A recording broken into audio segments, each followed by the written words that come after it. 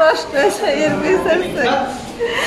আমারটা তো আমার দুটো মায়ের পুরো জীবন শেষ। চা বিক্রেতা স্বামী অন্যত্রে উলুলি নামের এক হিন্দু নারীকে বিয়ে করলে গার্মেন্টস কর্মী দুই সন্তানের জননী করুণা বেগমের জীবনে অশান্তির ছায়া নেমে আসে। এমনকি করুণা বেগম প্রতিনিয়ত শারীরিক নির্যাতনের শিকার হচ্ছেন। সালিশি মীমাংসায় স্বামী ও স্ত্রীকে মিলিয়ে দেওয়ার পরে স্ত্রীকে চিকিৎসার জন্য মঠবাড়ি উপজেলা স্বাস্থ্য কমপ্লেক্সে আসার পরে বাইরে ওষুধ আনার বাহানা করে, স্ত্রী ও দুই সন্তানকে হাসপাতালে রেখে পালিয়ে যায় স্বামী শহীদুল ইসলাম। এমনটি অভিযোগ করেছে ভুক্তভোগী নারী। পরে ভুক্তভোগী নারী করুণা বেগম দুটি সন্তান নিয়ে ঘণ্টার পর ঘণ্টা বসে থাকতে হচ্ছে হাসপাতালের দরজায়। ঘটনাটি পিরিজপুর জেলার মঠবাড়ি উপজেলার দক্ষিণ মিঠাগালী গ্রামের।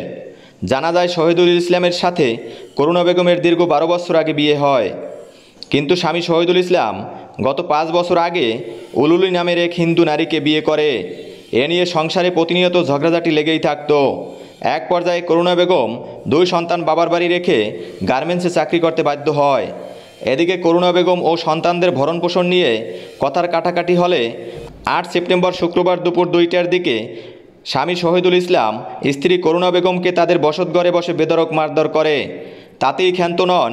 স্বামী শহীদুল ইসলাম করুণা বেগমকে ডাক্তার দেখানোর কথা বলে দোকানে এনে গরম চায়ের পানি শরীরে বিভিন্ন স্থানে ঢেলে দেয়। এতে করুণা বেগমের শরীরের বিভিন্ন স্থানে ক্ষতের সৃষ্টি হয়।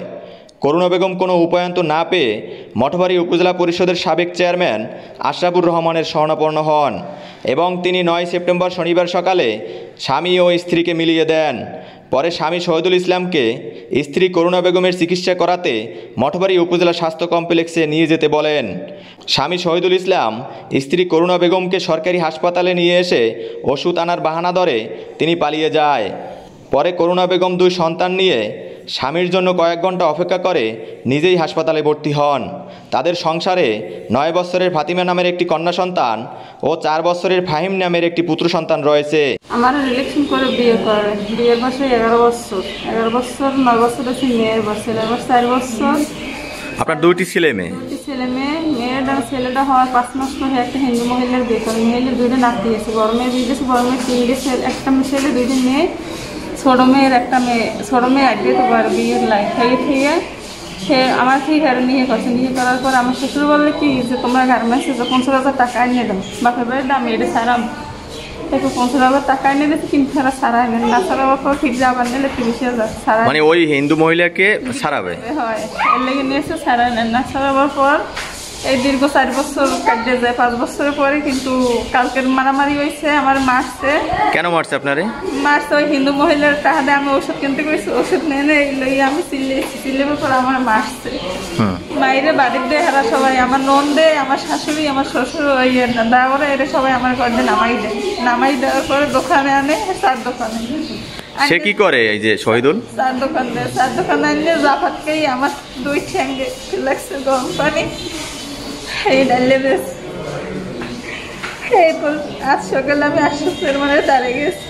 মিলিয়ে আমার হাসপাতাল লয়ে ডাক্তার ডাক্তার দেয় দেখতেছে আমার হাসপাতাল থেকে পলাই। আপনার হাসপাতালে রেখে পলাই গেছে। আসে নাই।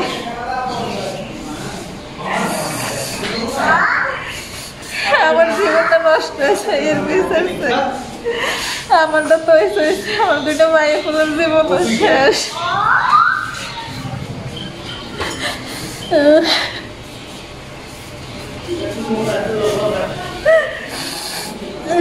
বিষয়টি সম্পর্কে স্বামী শহীদুল ইসলামের মুঠোফোনের মাধ্যমে জানতে চাইলে তিনি যা বললেন।